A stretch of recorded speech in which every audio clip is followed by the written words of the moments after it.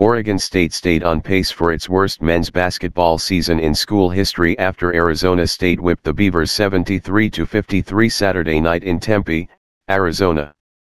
OSU was never in it, as Arizona State had a double-digit lead 9 minutes into the game. The Beavers, 3-22, 1-13, lost their 13th consecutive game. Only seven Oregon State scholarship players dressed for the game, as forward Warith Alatishe was unable to play. The Beavers have lost 10 of their last 11 games by double figures.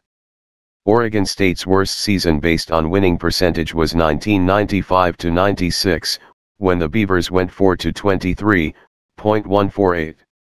The Beavers' win percentage this season is .120.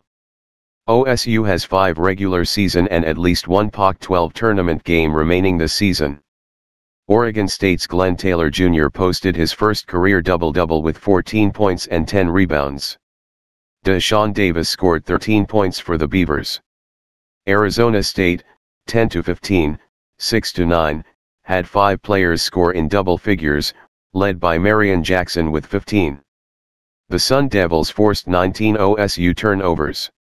This is the only game between Arizona State and Oregon State this regular season. The eight previous ASU-OSU games prior to Saturday were decided by a collective 22 points, with the largest winning margin 6 points.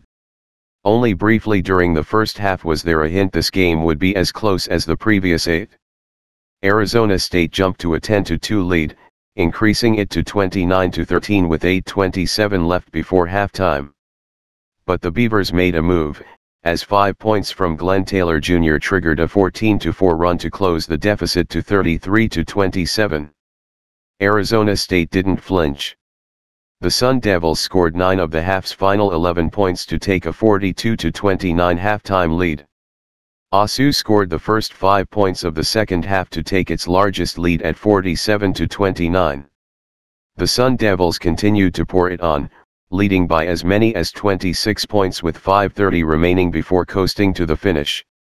Next up for Oregon State are the final three home games of the season, beginning Thursday against USC.